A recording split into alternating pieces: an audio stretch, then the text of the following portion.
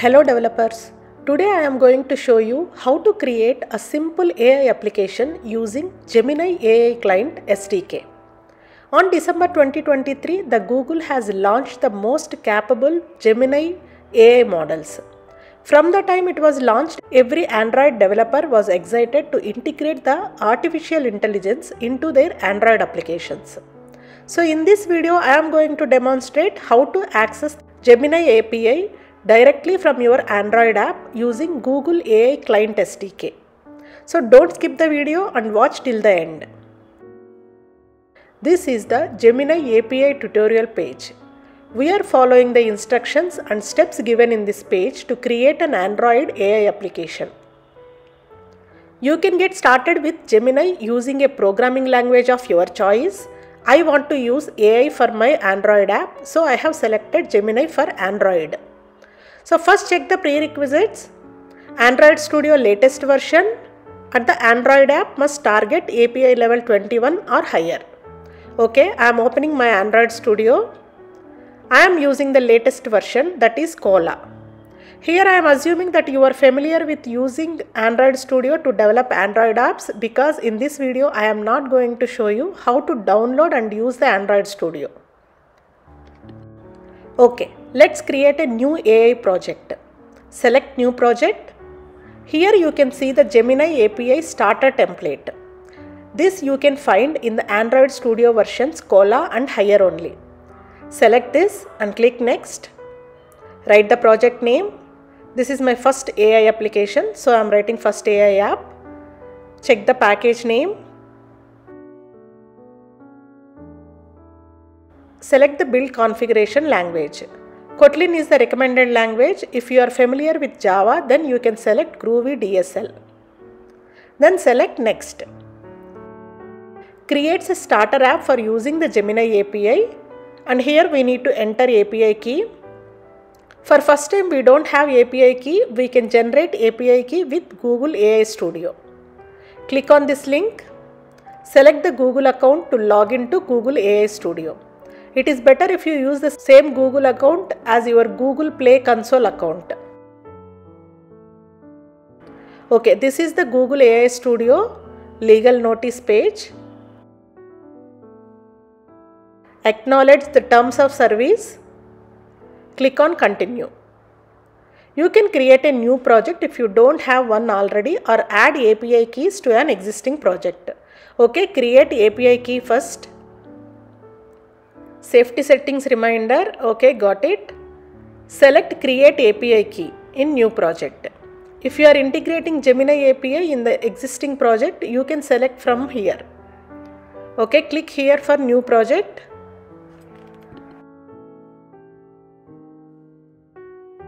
Yes api key generated. Use your api keys securely. Do not share them or embed them in code the public can view. Okay this is the key click on copy, come back to Android Studio, paste the API key. Click finish. It is building this new Gemini API starter project. It takes time, so be patient.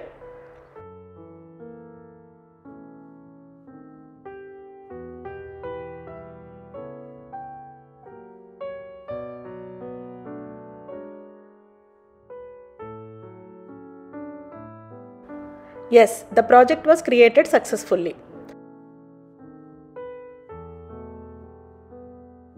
So we have created the new project and we have set up the API key. Next, secure your API key. So the key should be added to local.properties and then use the secrets Gradle plugin for Android to read your API key as a build configuration variable. Go to Gradle scripts, open local.properties, Yes, the API key was added here automatically and the API key has to be accessed as build configuration variable in the code. Okay, let's open the activity class. Okay, not here. Open baking view model class. Yes, the API key was accessed as build config value. Next, add SDK dependency to your project. Open modules build.gradle file. Yes, the generative AI was already added. All these were automatically done because we have used the Gemini API starter template while creating the project. But if you want to use this Gemini API into the existing project, then you need to add them manually. API key, SDK dependency and all to your project. Okay, everything is on place. Now build the project. Run the project.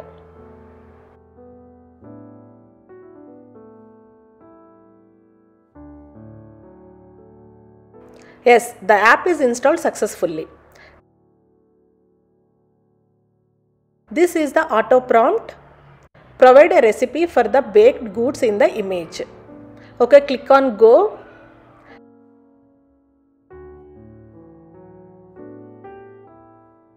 Yes, this is the AI response for the question. Recipe ingredients and instructions were given. Let's change the question. What is there in the image?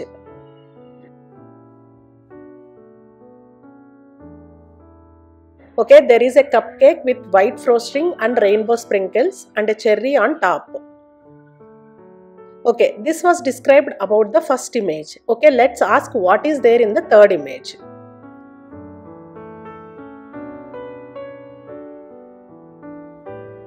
There is a stack of chocolate chip cookies.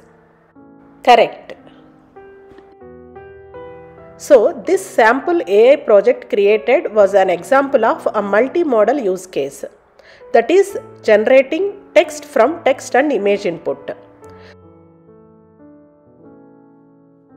So, there are other use cases also generate text from text only input, generate text from text and image input. This we have seen in our project. Then build multi-turn conversation that is AI chat application so you can use Gemini AI SDK to build three types of applications like this. Okay, now let me show you how to use Gemini API to generate text from text only input. Click here. This is the code to be integrated. For that, first create an XML file where we can enter the prompt, click on a button to get the answer from API. But instead of writing XML, I want to use Gemini tool to write the code for me. Click on this Gemini tool window on right side. If you don't find it here, go to view menu option, select tool windows, click on Gemini here. Okay, to access this coding companion, we need to log into Google first. Select the Google account, continue, allow Android Studio to submit data, Yes, successfully logged in for Gemini in Android Studio. Go back to Android Studio. Now you can post any question to get an answer from Gemini AI tool. Okay, I want to ask write XML code with an input text field, a prompt button and an output text view. Click submit. Okay, the XML code was given with the fields. Now create XML file and copy this XML code. Go to resource, new Android resource file, select resource type layout. The file name I am giving as activity Gemini. Now open the file, copy the XML code from the tool window.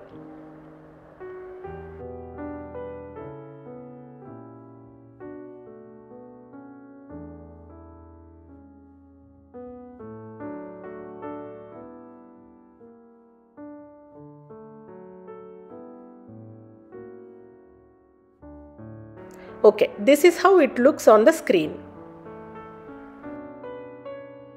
Change the hint to prompt and change the button to go.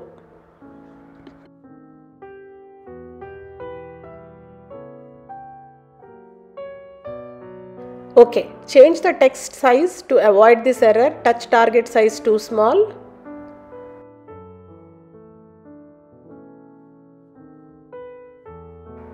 change the field names also edit text input button go and output okay layout file created Now we need to write the code to access these fields. So I am using Gemini AI tool only again. Write code to get values from ET input, button go and output. Okay, I want Kotlin code. Now submit.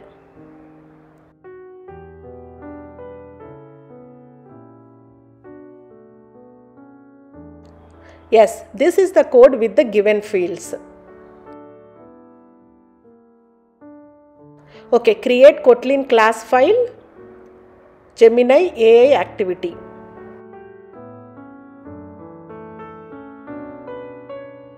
Now copy this code from tool window, paste it in the class file.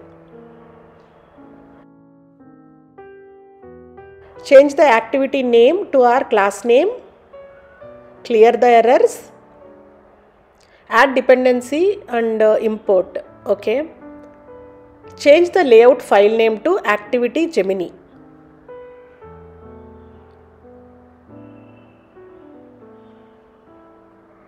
Yes, so all the fields are initialized. ET input, button go and output. See the names also it has given perfectly. On button click listener, getting the text from input field, processing the input text and the processed text was added to output text view. Perfect. Now we need to replace only the processing input text with our actual Gemini AI API algorithm. Go to the developer page. Copy this Kotlin code getting the text from input text using Gemini Generative Model API.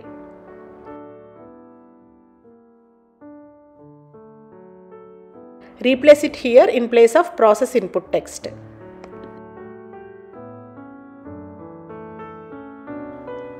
Okay, clear the errors by importing the library. So it is using the generative model Gemini 1.5 Flash, the current AI version and API key to process the input text. Here I am removing the auto prompt text and sending input text entered by the user and the response text has to be set to output text view.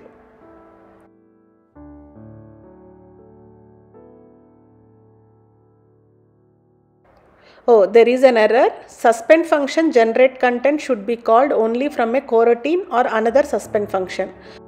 Okay, we can fix this by calling this function inside run blocking. Let's do that.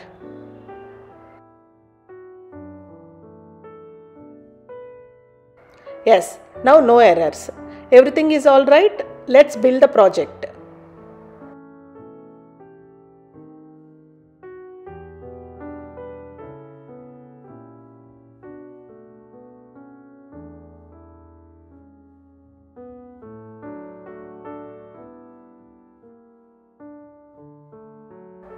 Okay build successful. Oh yeah we need to add this gemini ai activity to the manifest. Instead of main activity launch the gemini ai activity class we created. Okay now let's run the project. Delete the old app. Run again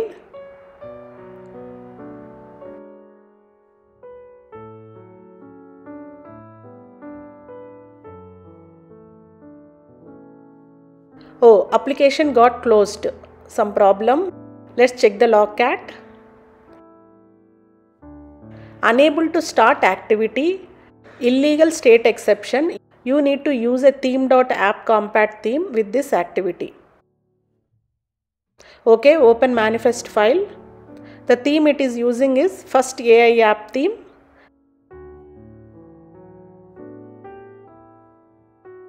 but we have to use app compat theme here as per the logcat error. So change it to app compat dot day night dot no action bar. Now run the project once again. Yes, got a text field with prompt hint. Let's test the AI SDK. Okay, let me ask Java or Kotlin, which one is better for Android app development? Click on Go. Yes, the response was added to output text view. Both Java and Kotlin are excellent choices for Android app development, each with its own strengths and weakness. Okay, blah blah blah. Okay, let's ask another question. Need to know about freelancing projects. Click on Go. This is a freelancing project guide received from Gemini AI SDK. So this way we can apply the artificial intelligence in our Android apps using Gemini AI SDK. But we can consider accessing Gemini on device. For use cases that involve processing sensitive data, offline availability or for cost savings, for frequently used user flows, you may want to consider accessing Gemini Nano which runs on device. This Gemini Nano comes in Android OS itself. We can access this using Google AI Edge SDK. But this Nano is available currently in Google Pixel 8 and Samsung S24 series Android devices only.